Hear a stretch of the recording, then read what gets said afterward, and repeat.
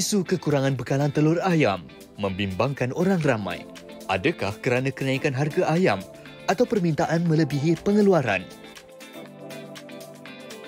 Juga perkongsian di sebalik kerjaya badut. Merah, kuning. Sekarang ni angkat seorang semua angkat tangan. Assalamualaikum dan selamat pagi. Hari Jumaat yang ceria di Malaysia hari ini bersama saya Nasruddin Ramadan rakan tugas Faria On yang nampaknya ceria juga Ya, pagi-pagi ni ceria kena gelap sikit lah kan. Kan, Uh, ada jenaka-jenaka sikit sebelum on air tadi. Baik, selamat pagi Assalamualaikum. Hari Jumaat. Semalam saya- pastinya satu rejab, hari ini dua rejab dah. Mhm, Ah, itulah dia. Dengan, berapa hari bulan dah ni? 4 Februari dah. 4 Februari 2022 telah uh, dah 4 hari dah berlangsung tahun baru Cina. Ada 11 uh, hari lagi. Jangan Oh. khawatir di mana ada kaum Cina di sana ada uh, gamat beraya begitu. Oh, beraya okey tak? As, Alhamdulillah setakat ini dua hari saja. Ha. Jadi kita kembali bertugas untuk anda semua dan diharap anda sedang uh, menyambut tahun baru Cina dah hujung minggu ni kan. Hmm. Terus tetapkan SOP anda. Syabas kepada rakyat Malaysia. Ya, uh, semalam pun uh, dilihatkan dah ramai orang di kompleks membeli belah kan masa hari satu hari bulan dan dua hari bulan tu kosong. Semalam dah mula penuh. Jadi bersesak-sesaklah juga uh, pada masa yang bersesak tu jadi kita jaga-jaga jugalah ya. Sebab kita masih lagi adalah memerangi COVID-19. Tepat Cakap berkenaan sekali. COVID-19 ini, pastinya ibu bapa, kita ibu bapa Oh. uh, diberikan penekanan dan juga fokus kepada pemberian vaksin uh, kepada sekali. anak-anak kita yang berumur Yes. 5 hingga 11 tahun kan? Ya, 5 hingga 11 tahun dan uh, lagu yang berkumandang di jiwa ibu bapa di luar sana gemuruh jiwa Ah, semangat membara begitu kan. Jadi 517,000 uh, orang telah pun uh, mendaftarkan diri untuk vaksin Hmm. COVID-19. Jadi itulah uh, sasaran 15% daripada 3.6 juta kanak-kanak yang berusia 5 hingga 11 tahun. Hmm, pastinya ramai yang kata kena kena kena hantar ke kena daftar ke nak kita ni. Oh, Setakat ini uh, semalam uh, Menteri Kesihatan kita telah mengumumkan bahawa pemberian vaksin kepada kanak-kanak berusia 5 hingga 11 tahun ini secara sukarela. Dengan harapan untuk mendidik ibu bapa. Sebenarnya uh, memberi pendedahan awal kepada anak-anak tentang sekali. vaksin uh, ini. Jadi uh, tahniah juga kepada mereka yang telah mendaftarkan anak-anak kalian. Anda memang berani. Anda memang berani. Uh, walaupun tak ada pasangan tapi yang mendaftar tu katanya Selangor antara yang tertinggi telah mendaftarkan. Selangor antara yang tertinggi hmm. dan juga kalau kita ke Sabah dan Sarawak 23,578 kanak-kanak Sabah hmm. telah pun daftar untuk program imunisasi COVID-19 kanak-kanak dan uh, alhamdulillah itulah dia uh, untuk KKM atau Kementerian Kesihatan Malaysia mensasarkan selepas 6 bulan kita jalankan program ini 80% daripada kanak-kanak kita 5 hingga 11 tahun harus diimunisasi uh, imunisasi penuh. Itulah dia sasaran dia. Boleh ke tidak? InsyaAllah. Hmm, ya. itulah dia. Ah, Hmm. kita doakan jugalah kepada mereka yang hari ini buat anak-anak yang akan mendapatkan vaksin di pusat vaksin uh, apa COVID-19 ini nanti di Lembah Kelang ya. Uh, berjalan dengan lancar dipermudahkan insya-Allah kan semoga baik-baik saja. Untuk kanak-kanak yang masih sedang gundah gulana di rumah tu, ibu bapa pun tak tahu apa nak buat. Mungkin anda teruskan bersama kita di Malaysia hari ini. Ikhtiar kita untuk menceriakan anda di luar sana. Kita bersama dengan sekumpulan uh, rakan-rakan saya. Saya bawa kawan kat, Ha. uh, kat, kat luar tadi. Uh, mereka ni, sasaran mereka atau misi mereka dalam hidup adalah untuk menceriakan orang di luar sana. Uh, Ah, puas. Kita nanti kita bawakan juga lah kat sini kan. Tepat sekali Ah. kita akan bawa mereka ke atas uh, uh, tapi jaga-jaga uh, uh, kalau mungkin awak takut badut Oh, saya tidak apa. takut. Oh tak eh tak. eh? Nas macam bercakap dengan Eh, cermin. tak, tak, tak, tak, tak, bukan, bukan, bukan macam itu. Saya Oh, tak, tak, tak? kaum wanita ni kadang-kadang lemah semangat. Oh, lepas aku tak apa, tak apa, tak. Saya, saya, kita tengok nanti. Kita tengok nanti. Kita Baik. berehat seketika, Ha, ya. Kita jumpa semua sini di Malaysia.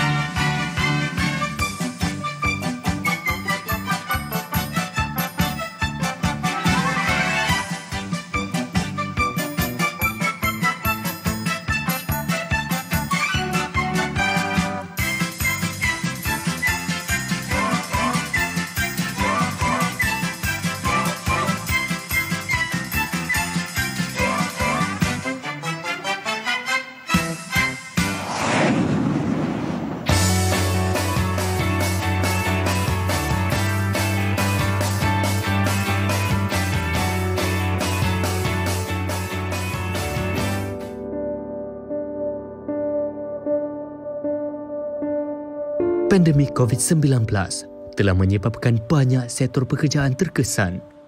Ini termasuklah kerjaya sebagai seorang badut. Dengan pelaksanaan Perintah Kawalan Pergerakan PKP, kebanyakan acara yang memerlukan servis badut terpaksa dibatalkan.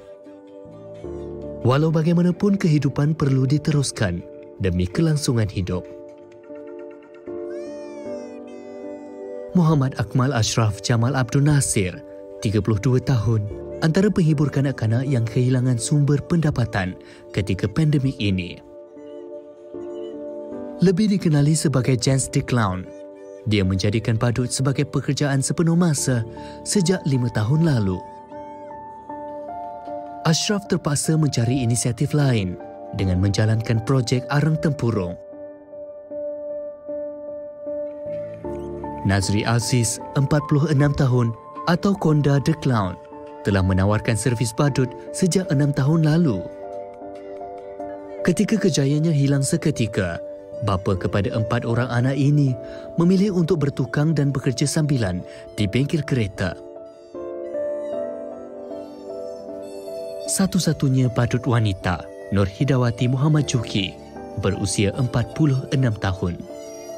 Dia juga telah enam tahun menjeburi bidang ini Sebagai seorang ibu kepada empat orang anak, dia kreatif mencari sumber pendapatan dengan menjalankan perniagaan dalam talian dan mengambil tempahan roti jala.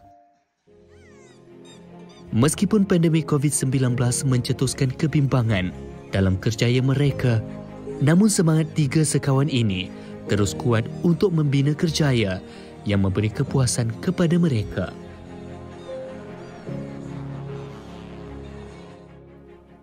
Oh, di sebalik keceriaan tu wujudlah semangat tak kunjung kalah badut-badut kita di Malaysia. Wah, semangat. Kita bawakan tiga sekawan ini tadi. Mm-hmm. Uh, dah tunjukkan macam mana intro tadi dah buat. Mm-hmm. Okay, kita satu, dua, tiga kita tunjuk hasil yang telah disiapkan. Ten ten ah. Tu dia. Pandainya tiba-tiba jadi Arnab. jadi, jadi itik dua ekor. Yang ini saya tak tahu rama-rama ke. Ya, oh rama-rama. Ah, okey okey. Kita perkenalkan Nas. Hmm. Jom saya Muhammad Akmal Ashraf Jamal Abdul Nasir. James the Clown. Waalaikumsalam. Saya faham, saya faham. ha, yang kat tengah-tengah ni pula yang cerianya What the Clown atau Nur Hidawati Muhammad Juki. Khabar baik. Saya faham. Saya cakap bahasa badut. Ha, boleh. Ha, dan ketiga di sini. Ketiga. Ha. Nazri Aziz. Uh, Corner the Clown. jadi, jadi wawancara ni kita akan berbahasa badut lah macam ni. Eh? Icu, icu, icu. Boleh cakap biasa? Eh? Boleh. Boleh cakap. Oi. Okey, boleh. Oh, wow. wow. Dia ada mood lah. Testing, ha. testing. Eh, okey, okey, okey, okey.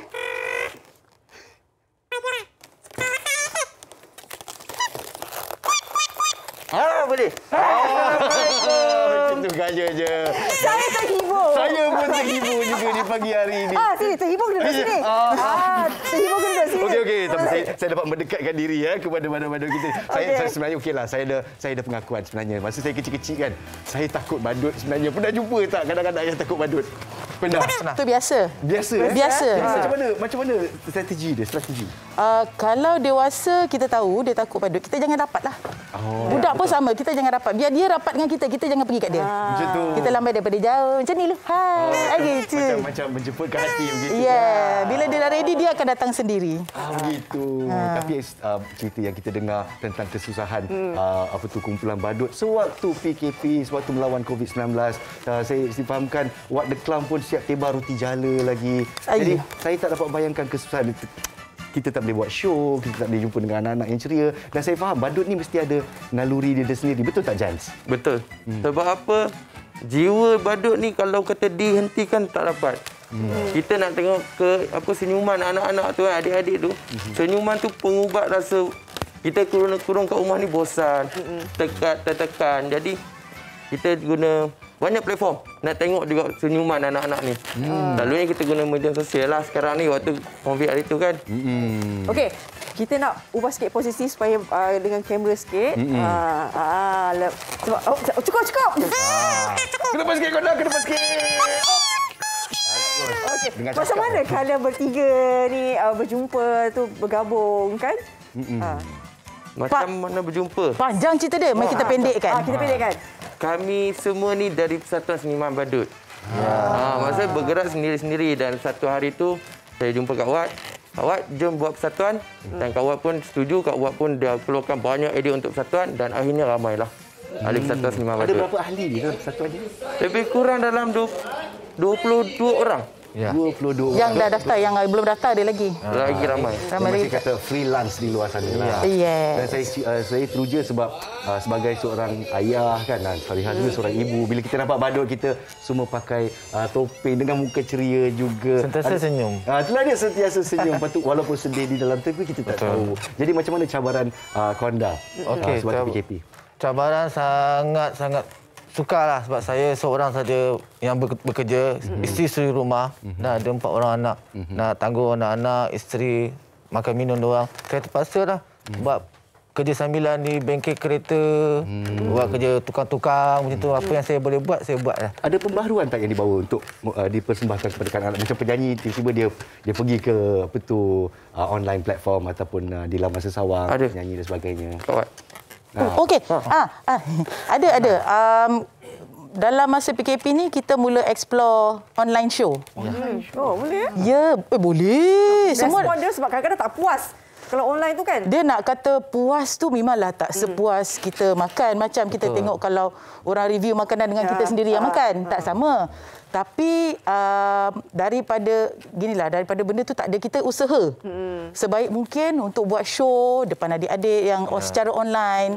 Uh, kita hiburkan parents. Maknanya um, kita faham adik-adik duduk rumah pun dia terkurung. Ya. tak boleh nak ke mana. So satu-satunya hiburan yang ada hanyalah dekat kota TV ataupun dekat um, skrin monitor. Itu je. Jadi yang itu kita buat sebaik mungkin. Okey. Macam Konda uh, kerja uh, sambilan di bengkel. Bengkel kereta. Macam uh, Wat sendiri buat tempahan uh, makanan. Saya ya saya ambil tempahan roti jala, saya jadi ejen snack makanan manis. Lepas tu saya ada belajar cara um, jadi Meva jadi marketing expert um, virtual assistant. So saya buat marketing online. Kentalnya badut ni, badut yang kental. Ya, anda bersama dengan pihak international dari company daripada Singapura. So dan dalam Malaysia kami bergabung. So saya belajar cara buat online marketing, digital marketing. Saya garap, saya, saya asah saya punya skill buat design. Hanya di sebalik tu ada hikmah dia juga. Yes, Jas sendiri? Jangan sendiri waktu COVID hari tu, ialah kita sepenuh masa dengan bidang badut ni sebelum COVID. Lepas tu kena landa COVID, kami saya buat produk arang tempurung. Hmm. Ha, maksudnya kita ambil tempurung dari uh, pasar-pasar, kita bakar jadikan dia arang. Oh. Yang itulah yang buat boleh tampung sepanjang COVID ni. Ada juga jiwa ada juga lah. Alhamdulillah, Ah, Alhamdulillah. Jadi COVID ni buatkan saya jadi usahawan. Ah, banyak kita Ya di luar sana pun uh, cabarannya sama juga ya. Sekarang ni dah kembali, dah ada tempahan balik lah kan? Alhamdulillah. Alhamdulillah. Macam mana? Bila buka je macam mana tempahan tu? Ya Allah, syukurlah sangat-sangat sebab kita ni masih diterima oleh uh, masyarakat yang lain kan untuk menghiburkan Ramai yang ah, masih ingatkan kami kan? Ah, ya, ingatkan kami. Mana boleh lupa dan sekarang diterapkan dengan SOP lagi. Ya. Tahniah, tahniah. Terima kasih, terima kasih. cabaran-cabaran untuk teruskan perjuangan sebagai badut. Jadi, um, siapa-siapa pun boleh jadi badut ke? Saya pun nak saya pun nak tahu juga kalau saya boleh pergi kostum punya shot dan dapat beli. Baju ni memang kreativiti sendiri ke? Iya, uh, kostum kami ni semua aktiviti sendiri. So sendiri. kami Saya jahit sendiri. Ah, oh. kain tempah ke kat orang jahit sendiri. Kita bagi design pada tailor lah. Sebab saya pergi kedai kasut memang tak dapat saiz ni. Ah ya, kasut memang tempah khas daripada luar. Ini Oh, memang tukang buat yang buat untuk kaki bengkak. Kaki bengkak. eh? Kaki bengkak. Siap, siap. Siapalah hentak kaki kau tiap hari. Itulah pasal dah bengkak dah. uh, ada tak uh, kalian sebab kalian ber, uh, bergerak dalam persatuan badut ya. kan? Bagaimana uh, adanya badut-badut yang lebih muda sekarang ni? Pen, uh, ada tak? Ada. Legasi-legasi usia Ada berapa? muda. Ah. Kami dari dari Persatuan Seniman Badut kita ada yang semuda do 13. 13 tahun. Oh. Ah, maksudnya dia paling junior lah dalam kami dan di luar sana setahu saya ada dari Kedah ada yang umur sekarang ni 10 tahun. Oh. Ah, tapi dia dari Kedah lah. Ada dari Kedah umur 10 tahun. Ya. Maksudnya kita ada dah ada pelapis. Hmm. Dah ada Dah ada squad pelapis. Kalian eh? bagi bagi jugalah kan latihan dan Ya, sebagainya. Ya. kita kita akan buat kelas, Ya. kongsi ilmu macam Sebab itu misi persatuan kami untuk upgrade ilmu, untuk tambah ilmu, tambah skill clown-clown yang ada. Ahli-ahli kami. Memang kami tiap-tiap bulan ada buat kelas. Jadi walaupun online. ada kanak-kanak kecil yang takut badut ataupun orang yang besar macam saya yang takut badut pun diberi latihan ya. Macam mana nak handle? Ya. Ah, jadi bukan main hentam kromo je. Oh, tak boleh. Kami ada etika, kami ada undang-undang, nak kena ikut, ada cara-cara dia. Tak boleh sondol je. Dari sendol je eh. Bagus, bagus. Saya ingat nak, nak, buat pertukaran uh, kata karier kan. Badut kan nak join persatuan sekali. Okey. Jadi uh, dari segi uh, orang kata nak pandang ke depan lah. Eh, pandang ke depan. Adakah anda rasa uh, secara virtual atau online ni akan menjadi norma baru untuk anda semua? Dia dia akan menjadi sebahagian daripada hidup kita sebab macam mana kita dah um, adapt masa PKP, benda ni akan diteruskan dan actually online show ni lagi bagus sebab kita di kami di KL boleh je dapat uh, klien daripada Sarawak. Oh, betul juga. eh. Ah. Jadi market kami lebih luas sebenarnya. Hmm. Uh, dan pembayaran online. So tak ada masalah kat situ. Okay, kadang-kadang ada juga uh, anak-anak kita ni yang teruja. Kalau badut tu memang sangat teruja. Ada juga penerimaan yang macam dia apa dimomokkan. Walaupun sebenarnya Ya, kan karakter badut tu ceria tapi dia, rasa macam momoknya ha. jadi kita nak tahu pandangan orang ramai juga bagaimana penerimaan bila ada badut ni ha, terutamanya anak-anak kita lah Ha, Betul. kan? Jadi uh, ja- jangan lupa tinggalkan pesan di Facebook kita. Kita nak dapatkan maklum balas daripada anda semua. Takut ke tak dengan badut ni? Sebab saya cakap tentera, sekarang ni dah umur dah nak 40-an, barulah saya rasa uh, selesa sedikit lah. uh. Tapi kalau nak bagi bailun kat saya, tak, mm, tak apalah. Awak bagi kat dia je lah. Baik, kita tengok Viti uh, pandangan uh, di kalangan anak ni Silakan. Agun, takut tak clown? Kenapa Agun tak takut? Kalau ada clown, Agun nak jumpa clown tak? Sebab badut baik. Kelakar, comel. Takut duk dengan badut. Apa takut? Sebab muka dia seram. Nak tak jumpa dengan dia? Takut badut tak?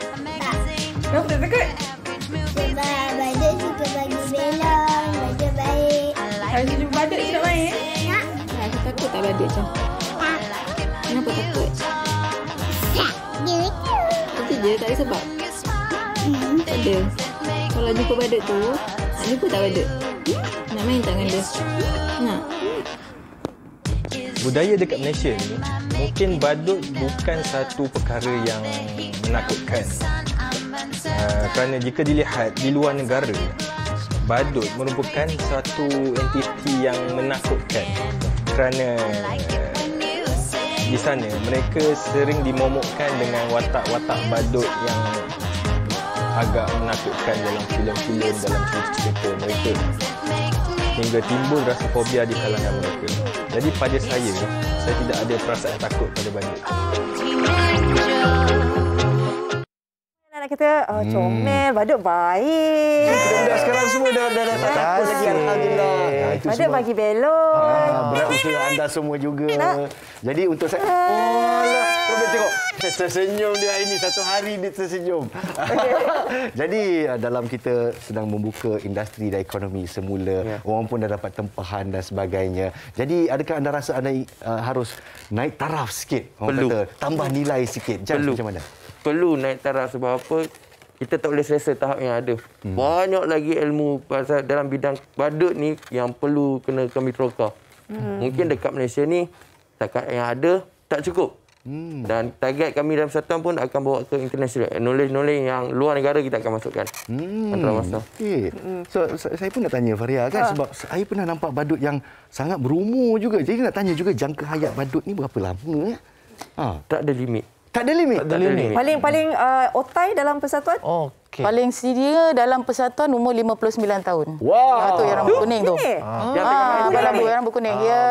Dia paling senior 59. Dari cucu dah. oh ya Ya. Ya. Angka button. Tak, tu, bukan tu abang labu. Abang Labu. Okey okey. Dia juga guru saya. Ah, Oh, ada maha guru pun ada. Saya ka- kami biasanya belajar dengan ramai clown-clown lama. Hmm. Ah, kami ramai guru dan saya galakkan ahli-ahli saya untuk ada ramai guru. Ya. Syukur bila kita nampak yang yang lebih pengalaman menurunkan ilmu Ya. kepada Betul. skuad pelapis dan seterusnya Betul. ya kan. Betul, betul. Sebab tak Okey. nak dia terputus. Ha, macam kalian ada keluarga, ada anak, isteri, suami kan.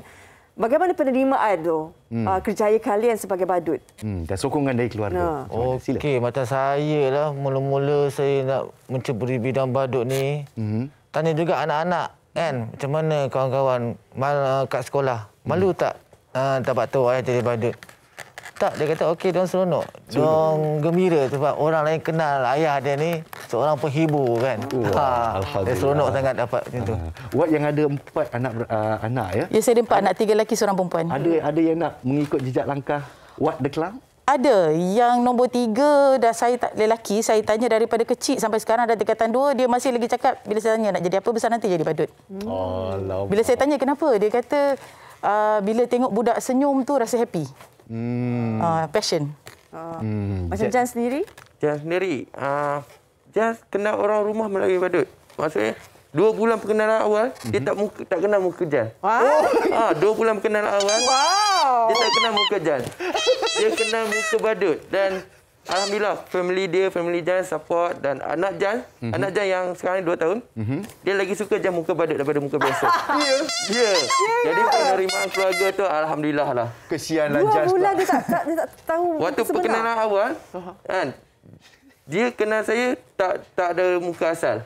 Semua muka clown. Itu betul-betul cinta sejati lah. Ah, Ini betul-betul drama ni. Ah, dia kenal saya, itu yang special kan. Saya Boleh dia, buat drama? Ni jadi. Boleh, boleh. Producer-producer drama boleh. Ini bukan Mr. Mimpi, ini dah Ini Mr. Badut. Yes. Macam kita nak buat drama, drama pukul tujuh petang nanti. Jadi apa-apa pun kita doakan yang Ya. terbaik untuk Persatuan Badut InsyaAllah, Terima kasih. juga. Jadi uh, kita mungkin akan ada satu persembahan terakhir dengan anda semua boleh tak? Ada ke? Ada. Okey. Boleh tak? Boleh. Oh, saya. Ah, boleh. Join sekali. Ah. Sebab tak nak belon kan? Ha, kena dia tengah. Okey, Ah, okey. be- belon kat sini. Oh, oh. Ah, belon sini. Okey, kita nak buat apa? Saya, saya dah takut dah. Okey. Ah, ah, okey. Ah, Ready, eh? okey. Boleh, ready? Jadi ikut je kita. Apa kita orang buat ikut je. Ikut je. Okey, steady. Steady eh. Bismillah. The Action Fun Dance Tangan naik atas dulu. Station. Tangan naik atas. Okey, okey. Okey, hayang tangan. Okey. Ikut tau. Ini senang. Adik-adik kat rumah boleh ikut. Oh, ya, ada ada kat rumah ikut sekali. Tak adik-adik kat rumah? Okey, tepuk paha. Guli guli guli guli. Okey, tepuk dulu.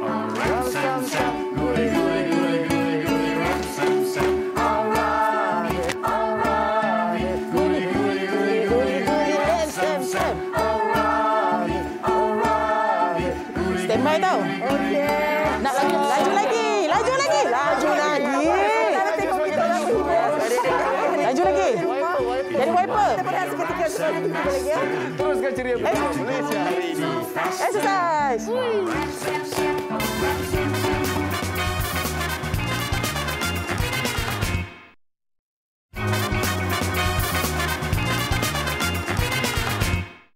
Yang berlaku jika melihat perkara ini terjadi? Adakah kerana masjid dan generasi hufaz semakin hilang di dunia? Pada Jumaat mulia ini, ayuh bersama-sama membangunkan aset Islam dengan berinfak untuk dana pembangunan masjid dan tahfiz melalui Pertubuhan Mihrab. Layari www.infakmihrab.com. Berinfaklah sekarang. Baik, itu sedikit informasi berkenaan dengan Mihrab membangunkan aset Islam. Kita nak lebih pemahamannya berkenaan dengan aset Islam ini. Bagaimana kita sebagai rakyat Malaysia sama-sama membangunkan aset Islam sebagai tanggungjawab kita bersama. Kita nak terus bersama dengan tetamu kita hari ini iaitu Ustaz Said Abdul Kadir Al-Jufri merupakan pendakwah selebriti. Assalamualaikum Ustaz. Waalaikumsalam warahmatullahi wabarakatuh. Sikit tadi paparan, uh, tapi kita nak fahamkan juga Ustaz, mungkin Ustaz boleh terangkan berkenaan dengan apa sebenarnya yang dimaksudkan dengan aset Islam ini. Okey, bismillah alhamdulillah salatu wassalamu ala sayyidina Rasulillah wa ala alihi wasahbihi wa wala. Uh, bila kita sebut tentang aset kan hmm. dalam bahasa Melayu biasa kita akan sebut aset ni adalah harta benda, hmm. tanah kan, uh, apa nama rumah dan sebagainya. Biasanya itu yang kita panggil sebagai aset. Tapi dalam Islam aset bukan hanya itu saja, bukan terhad pada rumah, tanah dan sebagainya. Hmm. Uh, contohnya dalam satu hadis Nabi sallallahu alaihi wasallam bila tanya kepada para sahabat, uh, kalian tahu tak siapa yang muflis? Jadi sahabat pun jawablah yang muflis ni yang tak ada tak ada harta apa semualah biasalah. Jadi Nabi SAW jawab tak yang muflis pada hari akhirat adalah orang yang rajin solat, rajin puasa dan sebagainya tapi datang dekat hari kiamat dia datang dalam keadaan yang dia banyak mengata orang, fitnah orang, kan, kutuk orang, pukul orang dan sebagainya. Jadi akhirnya pahala orang tu eh pahala dia bagi pada orang tu. Mm-hmm. Kan? Last sekali dosa orang tu bagi pada dia. Maknanya aset-aset yang sebenar-benarnya bukan hanya semata-mata tertakluk kepada harta benda yang fizikal yang kita kata tangible yang kita boleh nampak ni tapi juga termasuklah uh, al-Quran termasuklah hadis Nabi sallallahu alaihi wasallam serta ilmu-ilmu agama yang begitu banyak ini semua adalah aset-aset yang kita panggil sebagai aset Islam. Hmm. Hmm. Dan mungkin uh, ustaz boleh kongsikan juga sebenarnya apakah kepentingannya pentingnya kita ni untuk bangunkan aset Islam ini dan bagaimana sebenarnya perlu menjadi tanggungjawab kita semua. Hmm. Dalam satu hadis Nabi sallallahu alaihi wasallam beritahu para nabi mereka tidak mewariskan dinar dan juga dirham maksudnya duit lah kan dia tak, tak tak wariskan benda tu tapi Nabi sallallahu alaihi wasallam wariskan apa wariskan ilmu. Jadi maknanya benda ni sangat-sangat penting. Kerja kita kita ni sebenarnya kalau sekadar nak binakan bangunan yang macam-macam ataupun nak beli tanah masih lagi mudah sebenarnya. Tapi kalau kita nak bina masjid dengan sebenar-benar institusi masjid yang berperanan dalam masyarakat, kita nak binakan uh, apa lagi mahat hafiz contohnya kan untuk adik-adik kita, untuk anak-anak kita belajar Quran, menghafal Quran dan menyampaikan Al-Quran itu sebenarnya jauh lebih penting lagi. Jadi sekarang ni bila kita melabur dalam aset-aset ini, aset-aset Islam ini, insya-Allah bayangkan setiap kali orang sembahyang dekat masjid tu kita dapat pahala. Orang semayang, orang etikah, orang baca Quran, orang duduk majlis ilmu dan sebagainya. Setiap itulah kita dapat pahala. Kemudian tahfiz. Tahfiz contohnya budak-budak tu hafal Quran. Kita dapat pahala. Dan budak-budak tahfiz ni dia tak mestinya jadi ustaz. Kan? Banyak je yang jadi engineer, jadi doktor, jadi lawyer dan sebagainya. Tapi dalam keadaan mereka ni membawa Al-Quran. Mereka menghafal Al-Quran. Mereka menyampaikan Al-Quran. Mereka pula mengajar Al-Quran dan sebagainya. Sepanjang-panjang itulah pahala tu berterusan daripada kita. Ya Allah, itu yang, yang penting sangat sebab kita hidup kat dunia ni sekejap je. Mm. Kan? Nanti bila kita meninggal dunia, ini yang sebenarnya kita harapkan sangat-sangat. Mm. Hari ini Ustaz bersama dengan kami kan. Mm. Jadi mungkin Ustaz boleh terangkan bagaimana pula uh, cara untuk para penonton Indonesia pada pagi ini boleh menjalankan tanggungjawab mereka untuk bersama-sama sebenarnya okay. uh, untuk membangunkan aset Islam ni. Ha, sebenarnya di luar sana terlalu banyak mereka hmm. yang menawarkan untuk membantu tapi saya uh, saya biasanya agak detail sikit saya tak senang-senang je nak tolong mana-mana persatuan hmm. ke apa hmm. semua kan jadi kebetulannya ada seorang junior saya di sekolah lah dia jumpa saya kan uh, mereka suami isteri mereka pun bagi tahu apa projek mereka begini begini begini nak tolong masjid nak tolong mak tafiz dan sebagainya jadi mereka buatkan satu pertubuhan mereka namakan pertubuhan tu pertubuhan mihrab Uh, mihrab ni biasanya kita panggil mihrab ni dekat, dekat masjid tu kan tempat paling depan sekali tempat imam tu kita panggil mihrab. Mm-hmm. Uh, jadi tempat yang menghadap kiblat yang sama, yang satu. Jadi kita bersama-sama semua melalui pertubuhan mihrab ni kita berinfak. Jadi kita bagi pada diorang, insya-Allah diorang akan bagilah kepada masjid-masjid, kepada mak tafiz dan sebagainya supaya duit kita tu insya-Allah sampai kepada uh, sasaran yang tepat iaitu aset-aset Islam yang kita perlukan. Jadi ada uh, website yang tertera dekat uh, TV kita masing-masing, dekat skrin kita masing-masing tu kan infakmehrab.com. Senang je. Ini kempen ha, infakmehrab.com kan. Dan jangan risau pertubuhan mihrab ni insya-Allah memang sangat telus ya, kita boleh tengok mereka punya uh, aliran aliran kewangan mereka ada audit dan sebagainya dan uh, memang dipegang oleh orang-orang yang sangat dipercayai. Mm-hmm. Ha masya-Allah. Jadi saya pun memang dah kenal mereka tu yang saya berani. Mm. Saya pun tak berani kadang-kadang siapa je boleh buat kan. Yeah. Ha jadi ni pertubuhan mihrab insya-Allah. So buka jelas cepat-cepat kejap lagi pagi ni juga. Buka hari Jumaat ni sempena yeah. pagi Jumaat keberkatan pagi Jumaat terus buka infakmihrab.com uh, kita hulurkan insya-Allah mudah-mudahan menjadi saham jariah untuk kita selama-lamanya. Hmm, pastinya besar ganjarannya. Insya-Allah, insya-Allah. Macam kita sebut tadi kan masjid, tahfiz kan ini dua institusi yang kira kita kata institusi Islam yang paling penting sekali sebenarnya. Hmm. Yang paling besar manfaatnya dan dalam hadis Nabi SAW bagi tahu ada tiga amalan yang memang tak akan terputus kan. Bila kita dah mati pun tak terputus. Antaranya adalah uh, sedekah jariah, ilmu yang bermanfaat dan anak soleh yang mendoakan. Ketiga-tiga ni ada pada pertubuhan mihrab. Jadi mereka boleh terus menyumbang uh, di seperti mana yang kami paparkan? Ya, terus saja ke uh, infakmihrab.com kan ataupun boleh call kalau mungkin ada acik-acik acik-acik kita yang mungkin susah sikit nak buka ah, website dan sebagainya tu terus boleh kontak nombor yang tertera tu 011 1963 2876 kan. Uh, jadi terus je lah pergi kepada uh, kepada sasarannya insya-Allah. Nah, mereka ada projek yang saya sendiri dah tengok. Hmm. Masjid yang mereka bantu kan uh, di Sungai Choh Rawang saya dah pergi. Hmm. Masjid tu memang daif. Masjid lama sangat. Memang memerlukan kepada apa uh, penambahbaikan ataupun pembesaran masjid dan sebagainya. Saya pergi sendiri. Tahfiz yang diorang buat pun saya pergi. Saya tengok sendiri dan masya-Allah mudah-mudahan uh, pahala yang berpanjangan untuk kita semua insya-Allah. Baik, insya-Allah kita doakan semoga ini menjadikan kita jadikanlah ini sebenarnya tanggungjawab kita Ya. kan uh, sama-sama kita bangunkan uh, aset Islam ini. Terima kasih banyak-banyak uh, diucapkan kepada Ustaz Said Abdul Kadir Al-Jufri yang merupakan pendakwah selebriti kita. Baik, kita nak berehat seketika sekembalinya nanti kita nak bersama dengan Nas juga ini membawa uh, infak sepanjang dengan hari Jumaat ini infak pam air di bumi Kemboja. Semua selepas ini di MHI.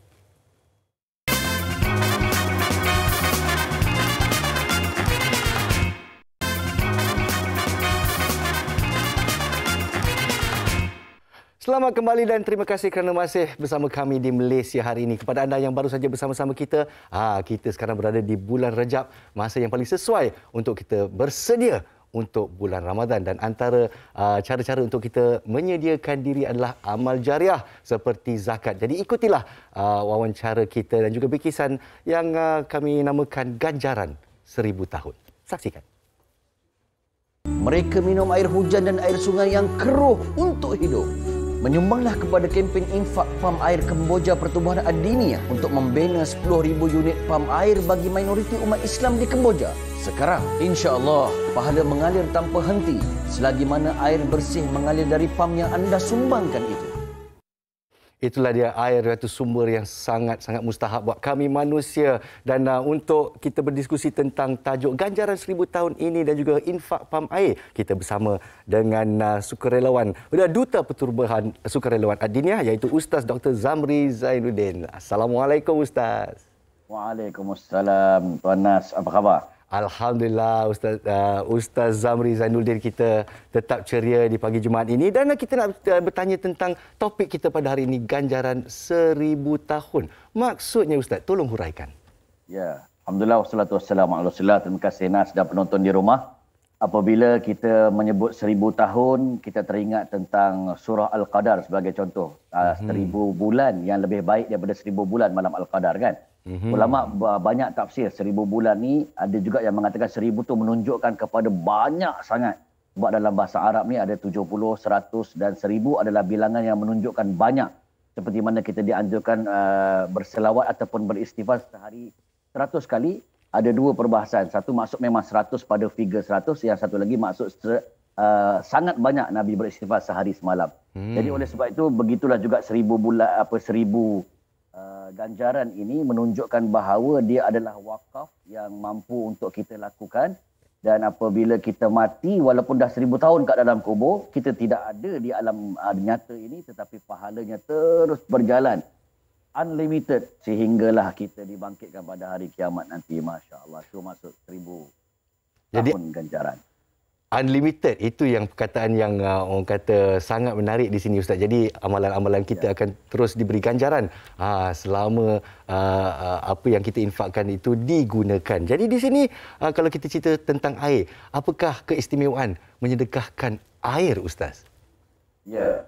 Uh, saya teringat kepada dua hadis Nabi sallallahu alaihi wasallam yang begitu menarik. Yang pertama yang uh, kerap saya kongsikan hadis daripada Sa'ad bin Ubadah radhiyallahu anhu seorang sahabat bertanya kepada Nabi sallallahu alaihi wasallam, Mhm. "Ma afdalus sedekah sedekah apakah yang paling utama?" Nabi sallallahu alaihi wasallam menjawab, "Memberi air, iaitu sedekah air ataupun infak air ataupun wakaf air." Samalah tu ya. Mana ini hadis daripada sahih Abu Daud menunjukkan bahawa air adalah keperluan asas bagi manusia. Kita tolak, tolong sedekahkan, infakkan, wakafkan, maka pahalanya adalah pada martabat yang tinggi. Ini dikuatkan dengan satu hadis muttafaqun alaih riwayat Bukhari dan Muslim bagaimana cerita di zaman Bani Israel. Mhm. Seorang wanita pelacur uh, ketika itu didatangi oleh seorang ataupun seekor uh, anjing ya, seekor anjing yang uh, menjelik terjelik lidahnya Mhm. yang berada di sekitar telaga. Ketika itu nampak sangat bahawa anjing najis mughalazah ini uh, kehausan. Maka si pelacur wanita tadi dia pun uh, agak tidak tergamak dan sangat kesian kepada anjing ini lalu dibukakan sepatu ataupun kasutnya dia ambilkan menggunakan kasutnya air di dalam telaga tadi untuk diberikan kepada anjing tadi Maka dengan asbab amalan ini, Allah, di, kisah ini berlaku di zaman Bani Israel. Eh. Uh, di asbab menjadi uh, amalan yang baik ini, Allah ampunkan segala dosa pelacur itu. Bayangkan tuan-tuan, sedekah air. Air juga. Walaupun pada binatang yang disebut najis mughallazuh seorang pelacur yang dalam kategori dosa besar dia diampunkan oleh Allah Subhanahu Wa Taala kerana tulus hatinya untuk membantu. Yang kedua adalah bantuan pula pada uh, tempat yang perlu kerana anjing itu terjelai lidahnya. Yang ketiga pula adalah yang paling keperluan dalam banyak-banyak kehidupan kat dunia ini adalah air. Maka masya-Allah itu sebab kami daripada Pertubuhan Sukarelawan Adiniah kali ini memfokuskan untuk infak uh, pam air Kemboja untuk merealisasikan hasrat ini kerana mereka adalah umat minoriti muslim yang berada di sana sukar untuk mendapatkan akses ataupun bekalan air bersih untuk mandi ibadah berwuduk makan dan sebagainya. Kerana air sungai mereka sangat kotor uh, seperti mana air teh tarik kita mas Hmm, seperti yang uh, saya pernah warakan kepada ustaz, uh, saya pernah melawat suku kaum Cham di Kambodia ini dan mereka ya, yeah. ya kehidupan mereka sangat daif dan masya-Allah uh, suatu hadis yang sangat dekat di hati saya dan insya-Allah kepada mereka di luar sana yang ingin menyumbang kepada uh, suku kaum Cham di Kambodia ini macam mana cara-caranya ustaz? Sila. Senang saja uh, pertama boleh screenshot uh, apa iklan yang tertera di uh, kaca televisyen tuan-tuan dan puan-puan boleh juga kalau tak sempat pergi FB nanti uh, boleh tengok live rakaman yang telah terakam itu untuk diambil maklumat yang berkaitan. Dan tuan-tuan sangat direct kami punya apa website www.infakpamairkemboja.com hmm. ingat pam air ingat pamairkemboja.com kami lah. Di situ ada internet banking untuk melakukan pembayaran ada dia punya uh, gambar-gambar ada dia punya keterangan dan kalau nak bercicit secara langsung untuk mungkin bagi lebih daripada apa yang sepatutnya. Kerana satu unit pam air uh, dua uh, ribu ringgit dan boleh dikongsi pada 10 penama supaya kad tu dan uh, plat nama tu boleh nampak nama dengan jelas. Ya uh, kalau nak luar daripada harga tersebut nak bagi lebih lagi ataupun nak bertanya lanjut nak pergi ke pejabat boleh telefon Ustazah Hazwani di talian 01155006 uh, 5506 uh, 6972 ataupun Cik Aini 0115589276 itulah dua hotline kami. Terima kasih ya, Ustaz Dr. Zamri Zainuddin di atas perkongsian uh, dan juga untuk Pertubuhan Sukarelawan Adiniah kita ucapkan yang terbaik untuk pertubuhan ini dan uh, terima kasih kerana memberi ruang untuk orang ramai di sana menginfak ganjaran seribu tahun. Terima kasih sekali lagi. Assalamualaikum Ustaz. Salam Jumaat. Ya. Waalaikumsalam. Ya. Terima kasih kembali. Baiklah dan uh, dengan itu insyaAllah uh, memberi ruang kepada anda semua untuk uh, berinfak dan ganjaran seribu tahun uh, mendapat ganjaran selepas anda tiada di sini ya. Wow, Alhamdulillah. Jadi di sini uh, dari infak kita ke uh, masalah telur di negara kita Fariha. Ya, ya? Assalamualaikum. Ha. Ah, Waalaikumsalam. Terperanjat dari sana kita kata dulu. Ya.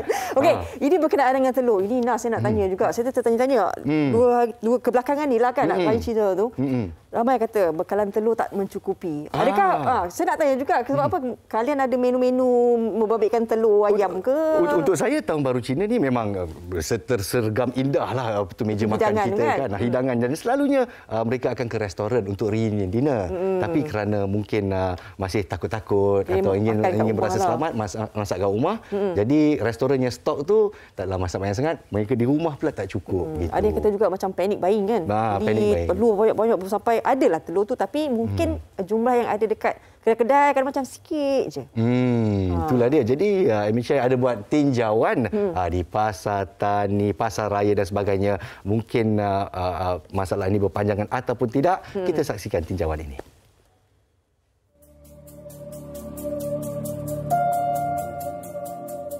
Sejak Januari lalu, masalah berkaitan bekalan telur ayam pelbagai grade terus menjadi isu utama di beberapa buah negeri seperti Terengganu, Johor dan Perlis yang bukan sahaja semakin berkurangan, malah ada juga pasar raya dan kedai runcit yang kehabisan stok telur ayam. Kekurangan bekalan telur ayam ini dikatakan berlaku disebabkan permintaan mendadak sempena musim perayaan Tahun Baru Cina sekaligus penawaran yang tidak mencukupi dalam pasaran. Situasi yang berlaku ini bukan hanya memberi kesan kepada pengguna, malah turut memberi tekanan kepada peniaga. Berhubung isu kekurangan bekalan telur di beberapa buah negeri sejak sebulan lalu, saya kini berada di Shah Alam untuk meninjau sendiri bagaimana pula keadaan bekalan telur di sini. Menurut pemborong Sarvesh Varen Tamil Selvam, kekurangan bekalan telur yang berlaku menyebabkan dia terpaksa mencatu bilangan telur yang boleh dijual kepada seseorang pelanggannya.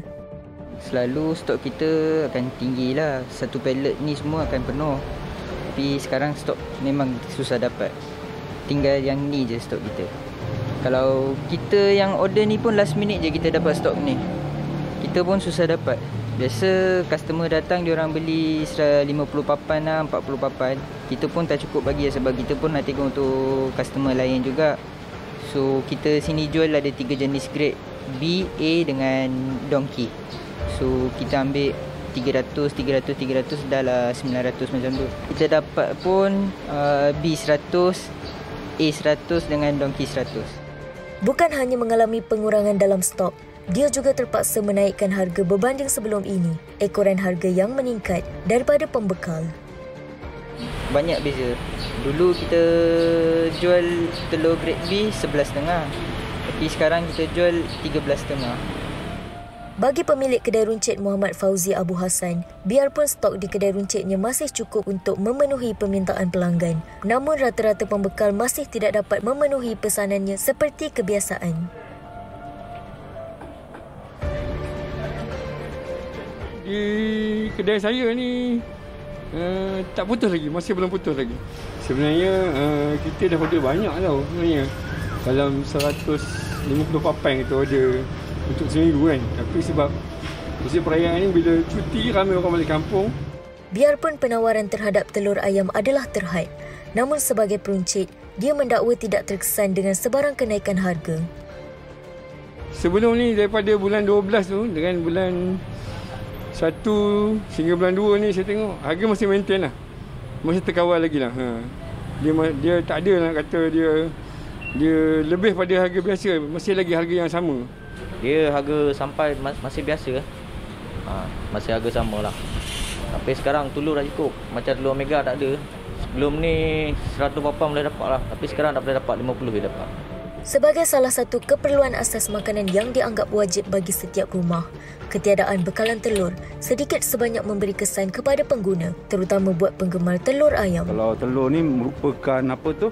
Uh, makanan ruji lah antara antara memang ada wajib ada dekat setiap rumah. Jadi kalau dia berkurangan memang memberi masalah lah pada setiap keluarga lah. Kalau telur tak ada kita tukar pada ni lah eh uh, protein yang lain lah maksudnya lah. Itu bukannya menjadi satu yang terlalu uh, perlu sangat lah maksudnya dalam uh, telur ni lah. Eh. Tapi kalau ada tu better lah. Eh.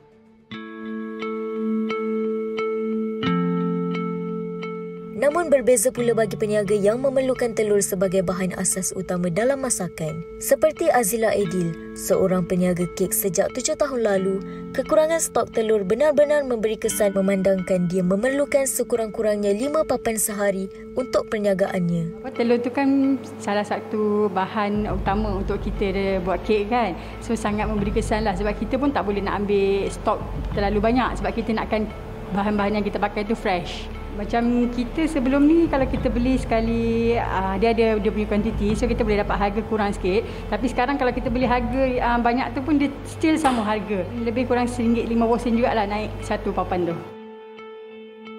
Tambahnya, dia juga terpaksa menaikkan harga kek susulan kenaikan harga kos yang dialami.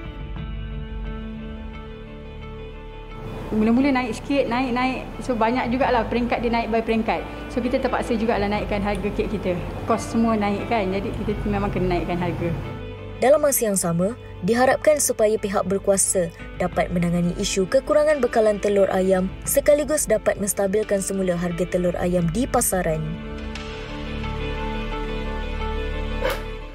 Hmm, baik. Hmm. Kalau lihat dah satu bahan harga naik, hmm. dia akan berangkai. Ya, ah, kan? Harga yang yang menggunakan bahan tu pun akan naik naik naik. Ah, hmm. jadi nanti ini akan menimbulkan lagi lah ketidakpuas hati pengguna uh, rakyat Malaysia dan sebagainya. Hmm. Kita mengharapkanlah ada sebab setiap kali perayaan selalu kita dengar daging ayam, daging apa semua kan yang naik tapi kali ini telur ayam. Telur ayam Ah, pula. sampai ada pasukan khas di tubuh siasat industri ayam. Itulah telur dia. ayam. Sedang tular di media sosial di sini. Jadi uh, jadi dalam uh, diskusi yang kita baca dan sebagainya, kita telah pun uh, uh, uh, sarankan bahawa pasukan khas yang telah Hmm. di tubuh siasat industri ayam dan juga telur ayam. Jadi jaga-jaga peniaga di luar sana yang Ya. sengaja menaikkan harga dan ingin mengambil kesempatan, uh, pihak kerajaan sedang memantau anda. Ah, Baik.